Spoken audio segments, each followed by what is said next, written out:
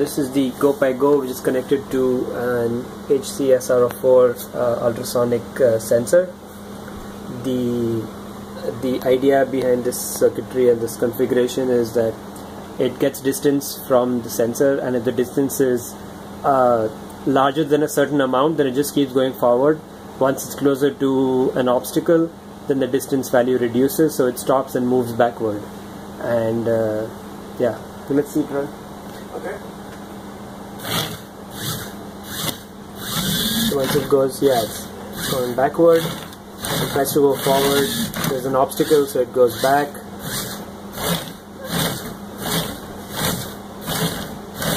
And at some point it reaches an equilibrium point